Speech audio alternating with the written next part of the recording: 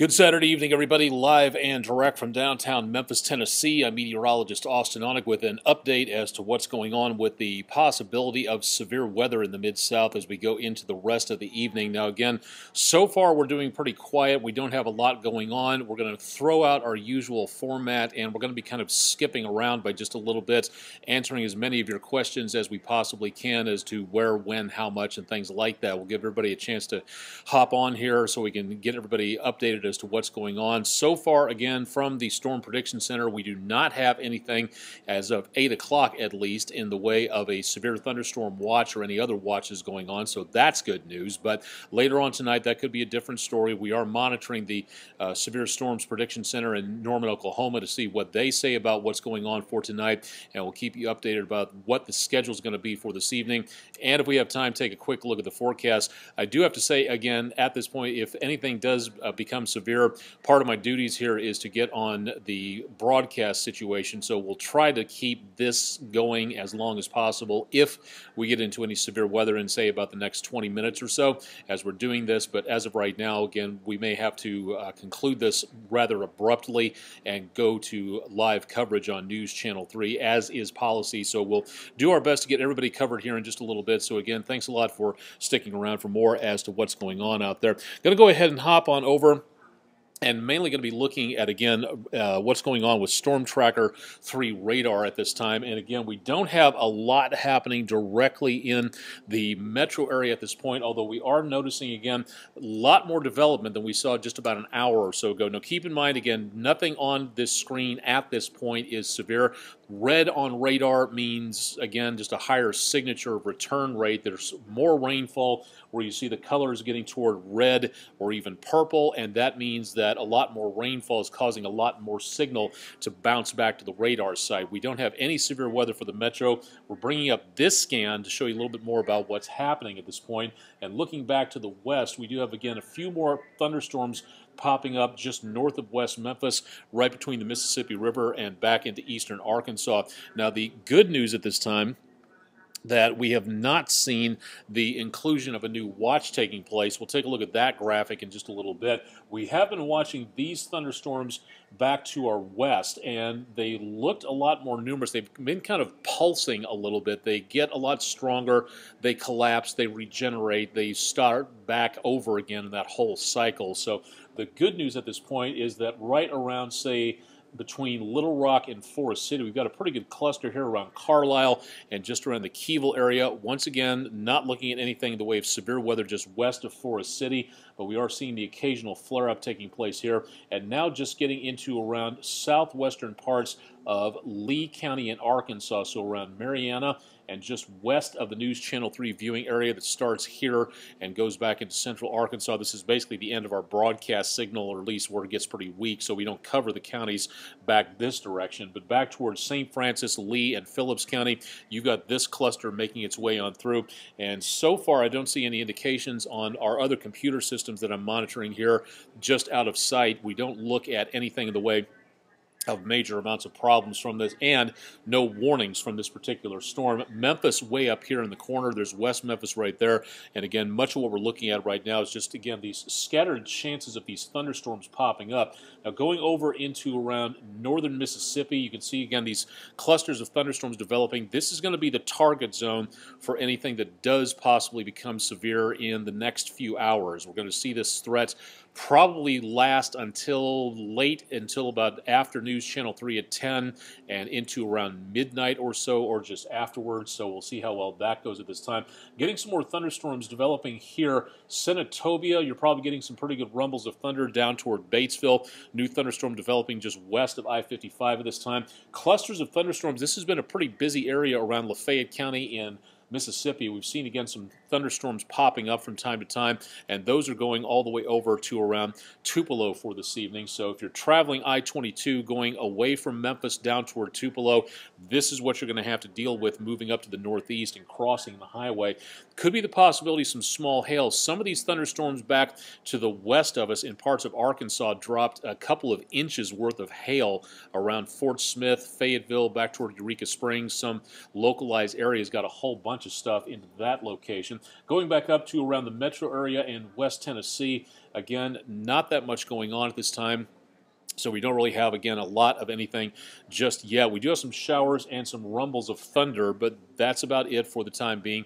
Likewise, northeast Arkansas, Jonesboro, Blytheville, back to around the area of Manila. There's a lot more lightning taking place between the 55 and 555 split, but once again, none of this is showing up as anything involving severe weather. And again, those thunderstorms right back around just northwest of Shelby County for tonight. Now, we do have, again, a severe thunderstorm watch in effect. The counties in yellow, again, just outside the News Channel 3 viewing area, are under this watch until 10 o'clock. So far, we have not gotten any indication from the government agency that issues these watches, the Storm Prediction Center. Uh, that's available at weather.gov. Click on severe weather for more information about that. Again, we don't see anything. They usually issue a statement that says this area or another area will be covered over by a watch relatively soon. We haven't seen that for a while because these thunderstorms, while they've been popping up and they have become severe, Notice the orange polygons here. Those are severe thunderstorm warnings from Little Rock down to about Pine Bluff and just around to the Mississippi River. None in effect for the News Channel 3 viewing area just yet. Hopefully it stays that way. But again, if anything happens, we'll let you know about that on air and on our social media network channels as well. So stick around for more on that. Thanks to everybody for tuning in for this evening.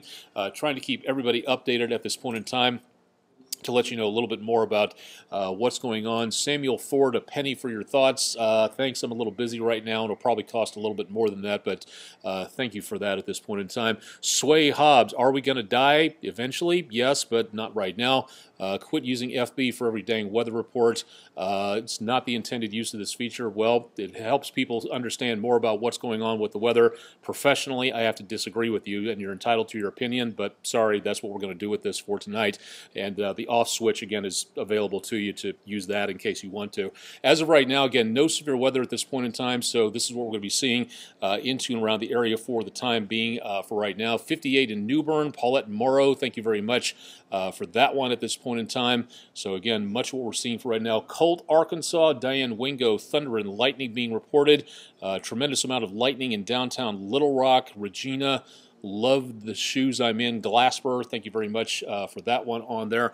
And as of right now, again, seeing nothing directly in the way of severe weather, but this is what we're going to be watching for. Now, we could see the possibility of another watch being issued here within the course of the next hour or so. Uh, looks like, if I'm not mistaken, we just got uh, possibility some lightning showing up on one of our uh, cameras. We'll say we'll have to see if that continues here in just a little bit. Just caught that out of the corner of my eye, but uh, not seeing a lot there. While we're waiting for new information from the National Weather Service and the Storm Prediction Center, we'll give you a little bit more details as to what we're seeing again across the rest of the area for right now. Temperatures in the mid South. Again, we're not really looking at too much in the way of major amounts of problems just yet. Excuse the changeover. Was borrowing the Graceland camera there for just a little bit to show what's going on here in Memphis. Temperatures back into the mid 60s at this point in time. And again, it's very much on the mild side, so we are seeing again the potential for some very mild conditions out there. Alan Lindgren, I was wondering if you were going to check in uh, regarding the cameras out there. If you get any pictures, love to see those uh, if at all possible. So again, please make certain to uh, send those along if at all possible. If you're going to try to take pictures of any weather out there, we'd love to see them. Don't, uh, not going to question that, but safety first and safety always. Again, please remember to make certain that you are taking your safety into account. Don't risk risk your life for a video or a picture. It's just not worth it out there. Believe me on that. I've seen too many people get hurt or injured across the Mid-South. All right, here's what it looks like. Again, this is going to walk this for you through for the forecast. Again, as we go throughout the next couple of hours, as we head through about News Channel 3 at 10, and just afterwards going to be, again, some thicker amounts of lightning into and around the area and some stronger thunderstorms out there. Lightning in Covington, Dayton, Sorrel, thank you very much at this point in time. Uh, Ashley Nichols Boone, our risk level in Colt, Arkansas. We'll talk about that. We'll do uh, the Storm Prediction Center forecast in just a little bit, so stay tuned again for more on that at this point in time. Clear so far in Hardy, Cherokee Village, Arkansas. Thank you very much, Tanya Ford, uh, for that one at this point in time. So thanks a lot for uh, that one at this point. And Logan Ward, glad you had some opportunities to get out with the bike riding for earlier today. Midnight or so, again, we still see that potential of stronger weather This forecast model just indicating again where the heaviest possibility of uh, precipitation is going to be uh, into later on tonight. And again, I'm thinking that what we may see is a lingering possibility of showers and thunderstorms that could be on the strong to severe side as we go a little bit closer to around uh, midnight or so and just afterwards. Now, taking this a little further, and again, I'm having to step off screen because my controller is out of reach, so I'm not trying to ignore you by getting off camera for right here, but I have to kind of reach over here to get this taken care of. Now, through about 3 o'clock in the morning, it looks like, again, that leading line of the possibility of thunderstorms kind of lingers a little bit. This forecast is a little different than what we saw a few hours ago, so we still see that potential of showers and thunderstorms possibly right on in through about 3 o'clock in the morning. And then as we get into around very early on Sunday morning, most of the threat should be gone and making it uh, all the way over into Alabama, southern middle Tennessee, and out of the area into around northeast Mississippi excuse me, back around the Corinth area and down through around areas west of about State College and east of the area down to around, say, Jackson. That's going to be about the main thing that we see there. Uh, Angie Herta Begez, uh, hope I'm saying that right, Bay Springs. Uh, can you narrow that down a little bit on states? I'm not entirely sure where exactly that is. Thank you very much. Uh, Judy Kennedy Mouser, Brownsville, Tennessee. Lightning to the west of here, and that's starting to show up on more of our cameras. I'll see if I can get that going here coming up in just a little bit. Jennifer Noland, Pollard, uh, Savannah, and the rest of the area. Let me go ahead and switch over to the uh, Storm Prediction Center map and give you an idea as to what we're looking at for right now. And again, the threat at this time is not entirely too different than what we saw this morning. The main area of concern is going to be from Fort Smith down the Arkansas River through Little Rock and into around the Mississippi Delta area.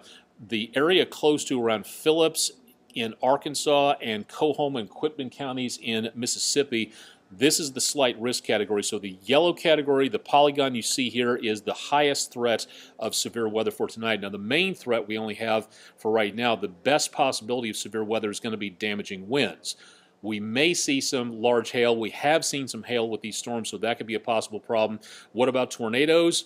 They're possible. They're not, again, a great threat at this point in time, but again, at this time of the year, we need to take that into account and watch out for those and make certain you're able to seek shelter as soon as possible. Now, a little closer into and around the area. Okay, tracker's not working again, so hang on just one second here.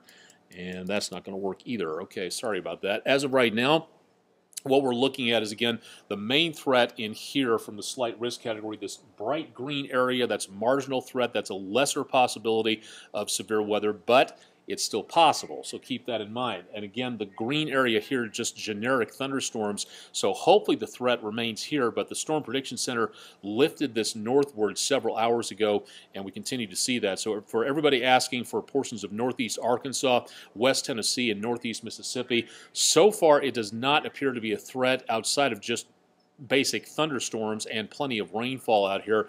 This is going to be the main target zone. So for Forest City, Helena, West Helena, down toward Batesville, Clarksdale, south and west of Oxford on I-55, this is going to be our main area that we see the potential for, again, severe weather uh, into and around the Mid-South. So this is what we're going to be seeing for the potential for uh, later on tonight. So anybody else in this area, if you're not included in this area here, the bright green and the yellow, and you're up in this direction, yeah, okay, for right now it's all right, but I would keep it tuned to News Channel 3 and keep it updated for what's going on into and around the area for later on tonight. Lightning and thunder around Corinth, Marcia, Howe, Monty, hope I'm saying that correctly. Uh, thank you very much. Lisa Cannon Mergel, how many inches of rainfall? Could be about an inch and a half to two inches at least in some of these areas from some of these thunderstorms. So this is something that we could see uh, aggravate the flooding situation again. Hopefully, it's going to stay relatively localized, but we'll watch out for that again coming up here uh, in just a little bit. So stick around for more on that uh, into the course of the rest of the weekend. The flooding situation is improving. The Mississippi River is actually going downwards, but we may see more problems with that again throughout the course of the rest of the next couple of days if the flooding situation gets aggravated by just a little bit. Okay, quick check of the forecast, and then we'll go back to Storm Tracker 3S radar and keep you updated as to what's going on. Uh, still not seeing a new watch or new warnings Hopefully, I'm not jinxing myself there on that.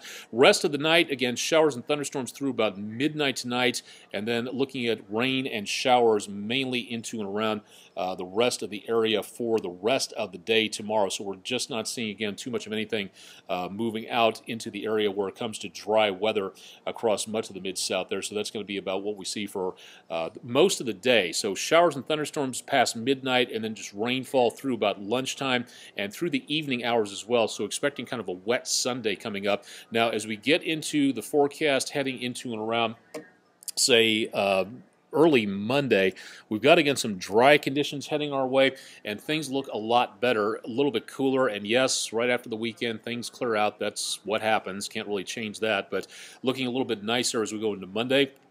And then getting toward Tuesday, remaining dry and cool with mostly sunny conditions out there, so not really seeing it too much of anything in the way of, again, too much of a problem there. Now, again, through the rest of the week, warming up back toward normal toward the end of the week, and then showers and thunderstorms again by Friday night into around Saturday. We may see some very warm weather here post St. Patrick's Day, getting close to 80 degrees as we head toward Monday. We'll be coming very close to the official start of the spring season. It's about nine days and change out. So hopefully, again, getting a little bit closer to that relatively soon. But again, some fairly mild conditions out there. It is going to be pretty brisk, though, throughout the next couple of mornings uh, from about the area from Monday morning through about Thursday morning. Temperatures at the bus stop for the kids will be very brisk. So please keep that in mind across much of the area.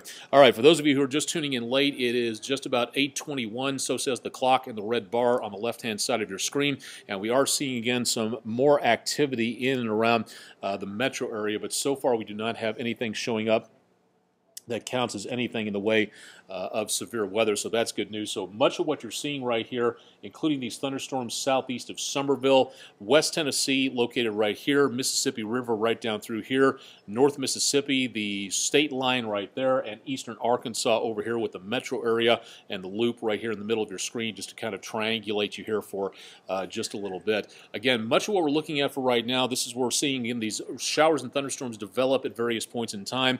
A little bit more activity going on with this one around Tyronza and Golden Lake, and it looks like we have even more activity developing back uh, close to the area north of Wynne and into and around the area of Cherry Valley and Harrisburg. A lot more lightning with this. These thunderstorms have been doing this throughout the evening. They've been kind of pulsing a little bit, developing stronger, drifting, and then kind of dropping by just a little bit. And we'll continue to see that throughout the rest of the evening from what it looks like out there. West Tennessee in general, not that much going on. And again, northeast Arkansas, that line is kind of lifting northward, but not much beyond that at this point. And then again, we have that severe thunderstorm watch in effect for areas just outside the News Channel 3 viewing area. Let me just do a quick check uh, real fast and see if the Storm Prediction Center is planning on issuing anything anytime soon. Uh, looks like we may have another uh, severe thunderstorm watch in effect, possibly. Yes, okay, from somewhere around this area. Storm Prediction Center is showing the potential of another watch being issued possibly within the hour, and that was issued about 15 minutes ago. So it's a good possibility this area of northwest Tennessee and southeast Arkansas may see a new thunderstorm watch developing here pretty soon, right along that slight risk area that we were seeing from earlier. So stay tuned to News Channel 3, and again, we'll keep you updated on that. Showers and thunderstorms again advancing into the mid south from back around portions of central Arkansas. So we'll see more of that throughout the rest of the area for tonight. Uh, Lisa Cannon Mergel, hail that's a threat at this point. Yes, it is possible. Matter of fact, a lot of these storms back in northwest Arkansas dropped a couple of inches of hail around Van Buren and back up into the northwest part of the state. So, would not be surprised to see that. There's some decently cold air a few thousand feet up, so it's not surprising to get all that hail dropping down into around the area close to the mid-south as that continues onwards. The air is a little bit warmer, so we're not probably going to get as much of it, and hopefully with the lack of sunshine, we'll see a little bit less in the way of problems with hail, but I would not be surprised if we saw some more of that coming our way uh, throughout the rest of the evening. Again, on the net here tonight, letting you know a little bit more about what's going on uh, with the situation at this time. We may be looking at another severe thunderstorm watch relatively soon. We'll bring that information to you on social media as soon as we get it. Uh, as of right now, there is nothing in effect directly for the News Channel 3 viewing area. Several areas of thunderstorms from I 55 back across to around Tupelo tonight, and all that moving roughly east northeast. So we'll continue to see more with that uh, throughout the rest of the evening. And these clusters of thunderstorms now just moving into the News Channel 3 viewing area, south and west of Memphis in the upper right hand corner there. So, again, much what we're looking at here is the potential for uh, those thunderstorms going on through the mid south and going to continue into the area. Uh, no, it's not a tornado warning. Annette Cornier uh, Wiener Hope I'm saying that correctly. Wellner, sorry about that. Can't read two point typeface. We don't have a tornado warning in effect. We're just letting people know uh, more about what's going on more than anything else. If there was a tornado warning, we would have uh, been on the air with that a lot sooner. But thank you very much uh, into and around the area for right now. Uh, the possibility for what uh, we see for tonight, let's see, Billy Lightning see the possibility of downstream for northern and central Mississippi for not Tennessee. It's possible, but again, we're going to be keeping our eyes on what's going to be going on uh, throughout the entire Mid South area, and hopefully it stays in that slight risk category. But we need to keep an eye on everybody for the time being at this point. Uh, Lisa Cannon Murgel, is this a fast moving storm? Not really. These things are mainly going to the east northeast at about, say, 30, 35 miles per hour.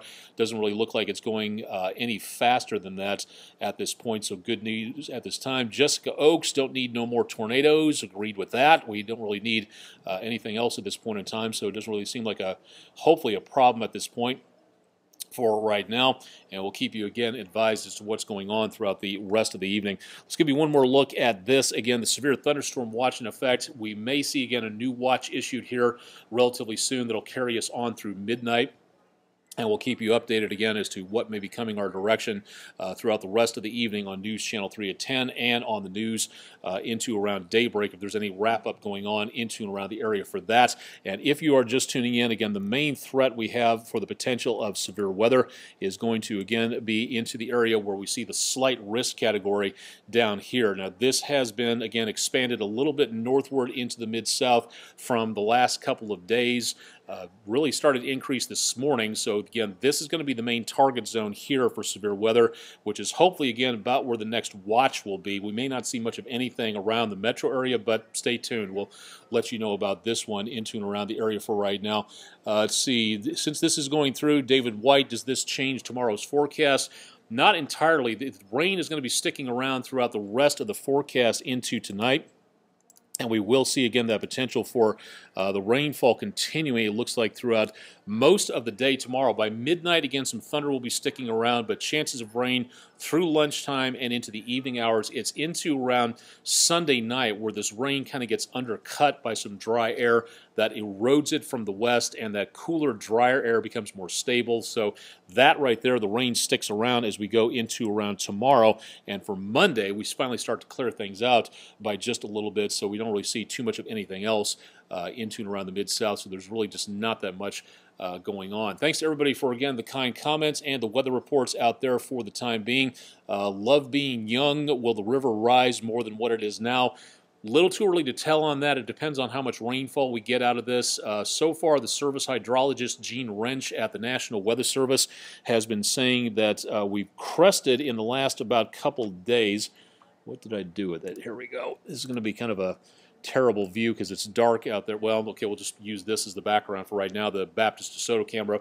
Mississippi River level, we've already crested, and it is going to be dropping for about the next couple of days, but any rise in river levels due to rainfall will show up here in the forecast coming up within the next few days. So keep it tuned to News Channel 3 for more on that. Once again, if you're just tuning in, we're approaching 8:30 and so far we have nothing in the way of severe weather. We are monitoring for anything new, but nothing has happened at this point, so that's good news. We hope it stays that way, but we'll continue to watch what goes on and keep you updated throughout the rest of the evening. I'll have a complete update of your forecast coming up tonight on News Channel 3 at 10. Mike Sadie will have more on sports. Kristen Holloway has all the day's news, and of course, if anything becomes severe, keep it tuned to News Channel 3 on air And again, I will make certain that we have everything ready to go should we encounter any severe weather, which so far we don't have anything immediately. So that's definitely good news. So again, uh, stick around for more on that. Earl Margaret Cutchins, did you say Corinth would get a lot of rainfall?